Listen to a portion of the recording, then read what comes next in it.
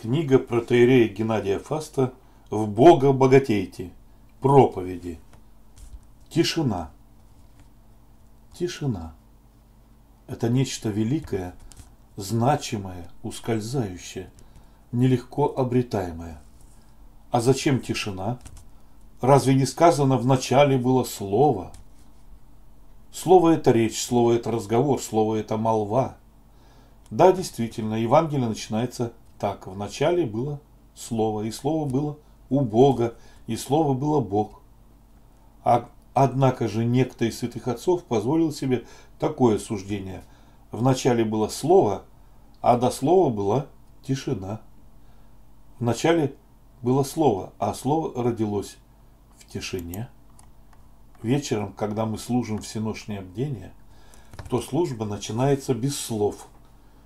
Священнослужители совершают кождение алтаря безмолвно, не произнося вслух ни даже про себя никаких молитв. А потом в безмолвии произносятся священные слова. Слава святей, единосущной, сотворящей и нераздельной Троице. Тихое пение как будто едва-едва рождающиеся и освобождающие из тишины «Придите, поклонимся». Второй раз поется громче, и третий раз уже поется во всю мощь. В тишине родилось слово.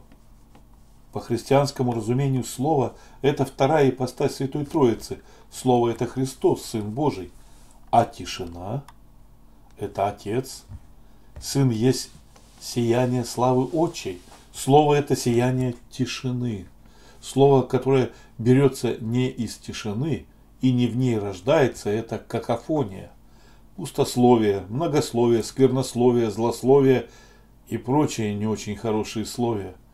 А истинное слово рождается в тишине, как предвечно Сын от Отца рожден. Таковы тайны нашей веры. Это имеет отношение конкретно к нашей жизни. В Псалме 106 сказано, что Господь превращает бурю в тишину, и волны умолкают. Кому довелось быть на море или даже на океане, могли наблюдать, как ревут волны. Это шум, который поглощает все. Никакие иные звуки не могут ему противостоять. И вот Господь бурю превращает в тишину. А когда буря превращена в тишину, тогда умолкают волны. Такой случай был при жизни земной нашего Господа, когда он вместе с учениками плыл по Генесарецкому озеру.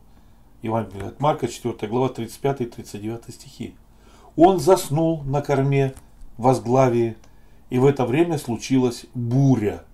Ревели волны, захлестывали лодку и могли ее перевернуть. А Иисус в это время спит. Полное безмятежье у него тишина. Не случайно сонный час называют в детских учреждениях тихим часом. Тишина, никаких слов. А тогда, во время бури, ученики уже не знали, что и делать. «Учитель! Тебе что, дела нет? Мы же погибаем!» Учитель не сказал им ничего по поводу того, есть ему дело или нет, он проснулся и превратил бурю в тишину. Он сказал ей, умолкни, перестань. И тогда умолкли волны. Евангелист говорит, и была великая тишина. Надо полагать, что это было в прямом смысле слова, физически. Однако мы чувствуем, что это было не только физически, ведь до этого больше, чем буря водная, была буря страха и смятения в душах учеников – и беспомощная суета в их действиях. А теперь великая тишина, и умолкли волны. Теперь ученики не без некого стыда вспоминают свои слова, которые не дерзнули сказать Иисусу, тебе что, до нас нет никакого дела.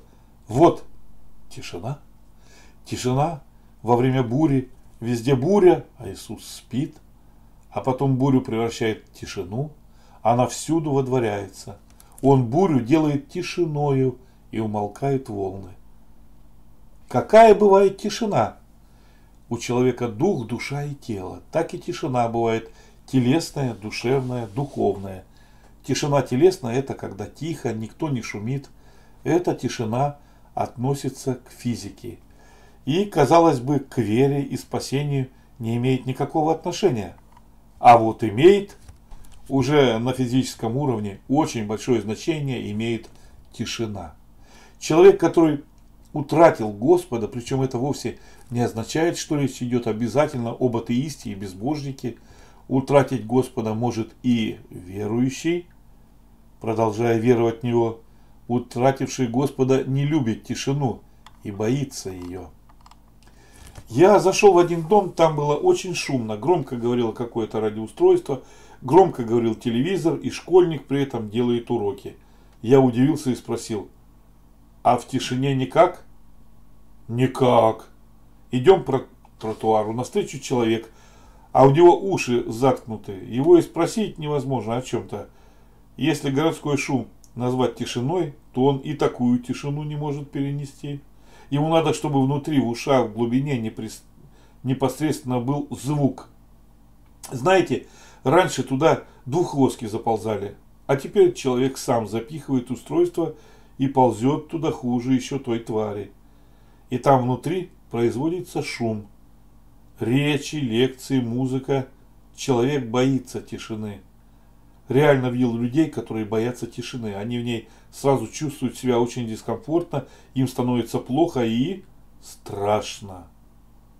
А все великое в тишине, на лоне природы, какая-нибудь деревушка, окруженная тайгой, и там так тихо-тихо. Люди удивляются. Аж звенит тишина. Понимаете, о чем идет речь? Тишина имеет колоссальное воздействие на человека – и надо возлюбить эту тишину, надо возлюбить безмолвие. Преподобные отцы, особенно древние, все эти вещи пытались достигать достаточно конкретно. Один из великих отцов, Авва Агафон, три года во рту держал камень. Может быть, не 24 часа в сутки, но особенно, когда находился среди людей. Попробуйте разговаривать, когда камень во рту. И так три года – так человек приучил себя к тишине, чтобы умолкли волны, чтобы из уст постоянно не извергался этот шум, этот ревущий поток, все сметающий, а главное сметающий мир души на своем пути. Речь – река. Вот так и физическую тишину надо возлюбить. И в храме должна быть тишина, но как трудно ее блюсти. В это время в храме у кого-то зазвонил телефон – и это на всех службах. Батюшка Саммона выразительно смотрит пред собою. Сколько ненужных звуков. И не каких-то, которые случаются по некоторой немощи. Кашлянул человек или еще что. А вот болтает человек глубоко верующий. С кем болтает? С еще одним глубоко верующим. Главное, чтобы шуметь. Главное, чтобы не было тишины. Когда служба началась, где стоишь, там тебя и должен застать конец службы. Тогда можно предположить, что ты был на службе. А если во время богослужения ты трижды или девятижды совершил экскурсию по храму, хотя был и делал это ты от начала и до конца службы, то трудно сказать, что ты на ней был. Тут все должно замереть. Храмовая тишина. Это что-то божественное. Эту тишину нарушает все, что угодно, а ее ничто не должно нарушать. И тогда человек приходит в порядок, он бурю делает тишиною, и тогда смолкают волны. Итак, мы можем перейти на второе, на душевный уровень. Душевный уровень это когда не внешняя тишина, а тишина душевная. Чем же нарушается тишина душевная? Какая там бывает буря?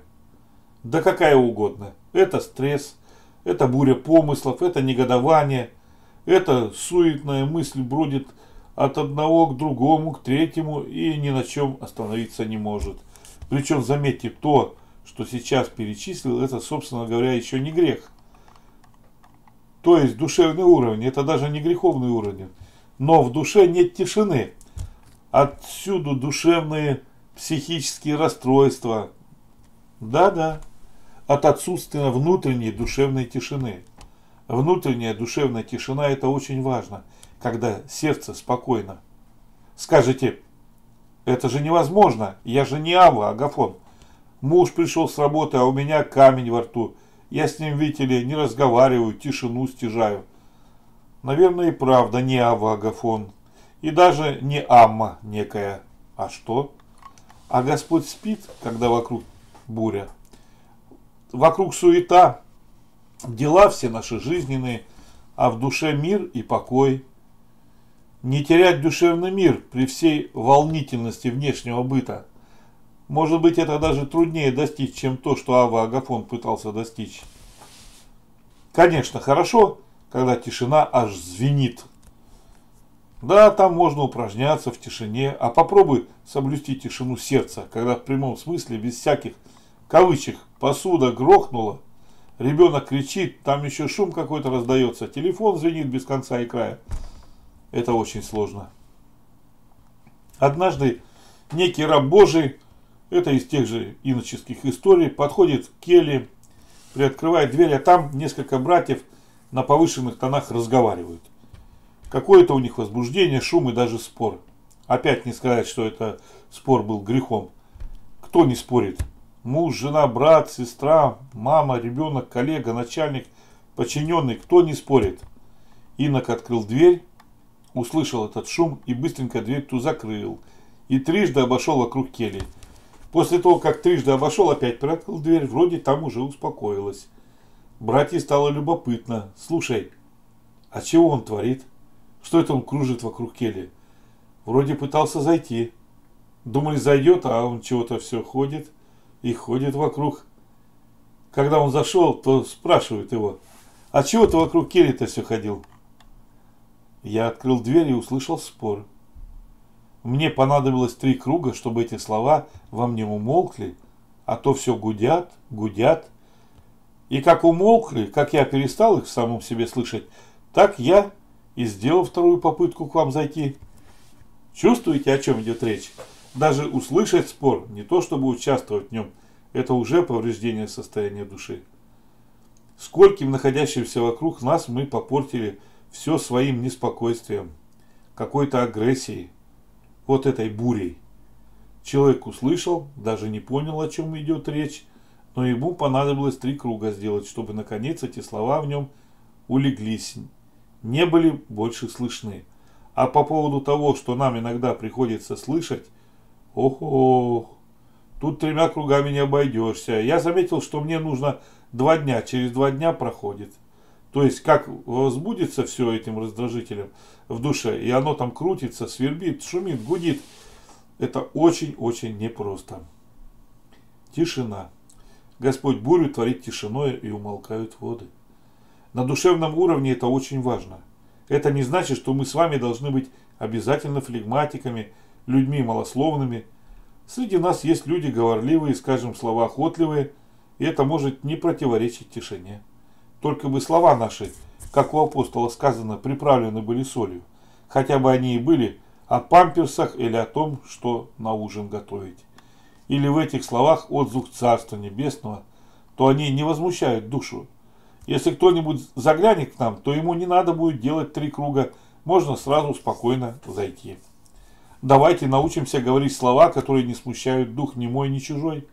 Можно быть холериком, можно быть сангвиником – по своему темпераменту, пожалуйста. Есть люди шумные, такие по характеру вы знаете, не возмущается дух. Это, можно сказать, высший пилотаж. Быть шумным по характеру, а в душе тишина и чужую тишину не нарушать. Бывает такое, но это трудно. С камнем в устах все-таки легче. А дальше дух. Дух, в нем какая буря? Страстей. Там страсти, это уже хуже болезненнее, жестче, там душевная суета, страсти являются сильной бурей, они бушуют в нас. Можно привести огромный перечень, сколько угодно. Гордость, себелюбие, тщеславие, корыстолюбие, сребролюбие, гневливость, непрощение. Все, все какие есть. Все эти страсти и есть буря, которая смущает мой дух. И чтобы эти страсти улеглись, нужна сила Господня. Это может сделать только Он. Он бурю превращает в тишину и умолкают волны. Никакая психотерапия, никакие тренинги не могут достичь результата. Хотя иногда они производят некоторые внешние полезные действия. Человек становится более умеренным, более спокойным и так далее, но через это внутреннее спокойствие возбуждается страсть гордыни и самодовольства. Так бывает, если это ты делаешь сам и только. Бурю же превращает в тишину только он. Была буря, а стала тишина. Это то, что является нам заданием на всю жизнь. О смертных грехах у христиан и речи не должно быть. Они остались за порогом крещения. А бурю страстей превратить в тишину – это целожизненный подвиг, который совершает христианская душа. А без этого можно? Я ведь и так хороший, ничего плохого не делаю. Я не ворую, не убиваю, не прелюбодействую, милостыню даю. Да и правда хороший но святости нет. А воля Божия – освящение наше. Таким образом, я становлюсь приличным человеком, становлюсь законопослушным по заповедям Бога Всевышнего, но я не приобретаю внутреннюю тишину.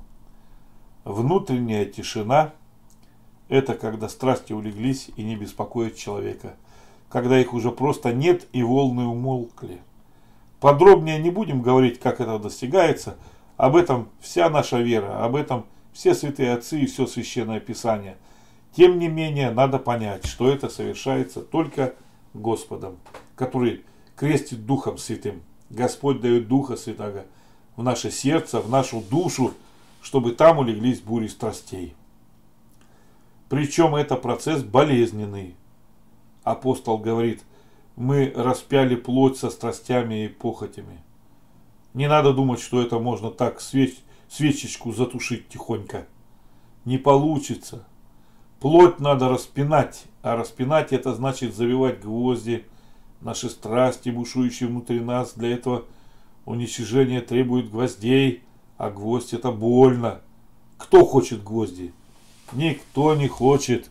Гвоздь это неприятный тебе человек, гвоздь это несправедливое решение начальника – Гвоздь это хамское поведение подчиненного, гвоздь это безобразное поведение мужа, и мы сразу хватаемся за гвоздодер, чтобы гвоздь выдернуть и выкинуть. И остаемся со своими страстями. Я же был хорошим, зачем мне такой начальник? Повезло, и вот обиженный уже доволен. Теперь я тут за главного, и стало еще хуже. Надо в таком случае не гвозди выдергивать, а страсти умершлять. Надо позволить Господу, чтобы он бурю превратил в тишину. Это как в больницу, когда сдаешься, то письменно подписываешь разрешение врачу. Ни много ни мало брать нож и тебя резать, а по-другому никак. Надо позволить Господу действовать, договор, завет с ним подписать. Пусть Господь уничтожает во мне страсти, пусть эти бури будут гвозди, но главное, чтобы улеглись страсти – чтобы он бурю превратил в тишину, это очень, очень важно. Вот такая есть добродетель – тишина, в которой и только в ней рождается слово от Бога. И только в ней рождается что-нибудь святое. Сколько бы я ни сказал правды, сколько бы я ни сделал добрых дел, если они родились не в тишине духа, то они не плодоносят и людям не при... людьми не принимаются. Потом я буду говорить, я же ему правду сказал. А кто правду любит слушать? Я ему доброе дело сделал. А он мне чем ответил? Ну, конечно, теперь он во всем виноват. А первично это все от того, что мои слова и мои дела не в тишине моего духа родились. Тишина – это Бог, в котором рождается Слово, Его Сын. И от Бога тишины исходит Дух. Так и во мне. Всему начало – это тишина Духа. Из древних была одна подвижница, Амма Матрона. Она как-то сказала такие серьезные слова. Без тишины, без безмолвия не приобретается ни одна добродетель. Ну ладно, с тишиной у меня проблема, но зато есть вещи, где я ничего. Я же трудолюбив, справедлив. Ну да, тихо я не могу. Тем не менее остается факт. Без тишины не приобретается ни одна добродетель. Отсутствие тишины подчеркивает все, что мы вроде бы как имеем и умеем, за что нас другие даже хвалят, за что мы уже несколько раз грамоту получили или более высокую награду. Без тишины не приобретается ни одна добродетель. Отсюда видно, как это важно. Кстати, где еще тишина и гвозди? Слова мудрых, как вбитые гвозди. Это у Экклесиаста сказано. Экклесиаст, 12 глава, 11 стих. А если мне говорят мудрые слова, если мне эти гвоздики вбивают, я как реагирую? Я начинаю спорить. Я их не приемлю. Пока человек спорит и не приемлет, он не приобретет ни одну добродетель. Человек сразу хочет результата исцеления, освобождения от темных духов, от болезни, от неустройства, от финансовой неурядицы, от семейного неблагополучия. Мы хотим получить результат, за этим мы и пришли в церковь. Однако мы не смогли не только принять, но даже тихо выслушать то, что нам было сказано.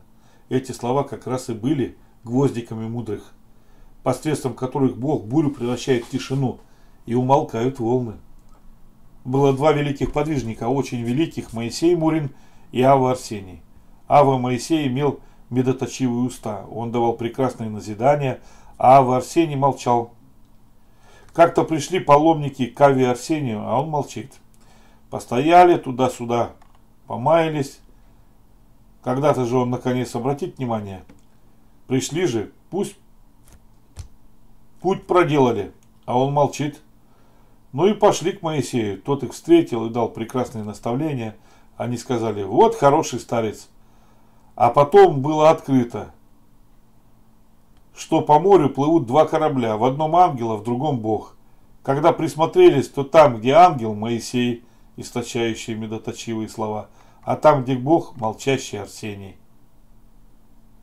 Господу слава во веки веков. Аминь.